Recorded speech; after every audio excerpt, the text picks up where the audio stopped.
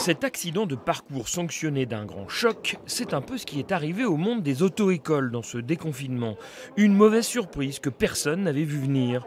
Dans les quatre centres Drive-In de Rhône-Alpes, on a été obligé de refuser du monde, une quarantaine d'inscriptions par mois qui auraient pu monter à 60 ou 70 si l'on y avait mis contraint et forcé un numerus clausus. Tout le monde a pu se former au, au code à distance. Il y en a pas mal qui ont eu plus de temps, donc d'un coup ils ont voulu se lancer là-dedans, et donc la demande a explosé.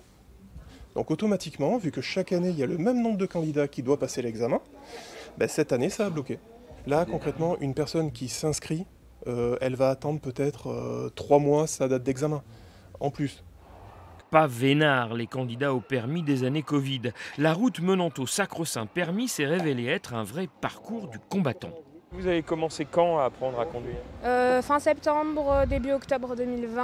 Entre-temps, il y a eu plusieurs confinements, fermeture de l'auto-école, euh, des cas contact Covid, des cas Covid. Du coup, ça, ça a pas mal retardé les choses. On n'a pas pu avoir autant d'heures de conduite que- qu'on aurait voulu.